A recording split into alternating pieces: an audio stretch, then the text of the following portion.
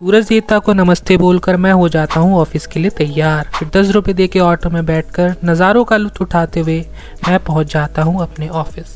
चाहे कुछ भी हो जाए लेकिन मंडे को ऑफ़िस आना इस लाइक ये दुख का खत्म नहीं होता बे। करते करते घड़ी में बच जाते हैं। एक और पेट में चूहे करने लगते हैं टेट। राज लंच में पराठे और आलू मटर की सब्ज़ी। शाम होते होते मैंने खाया आइसक्रीम।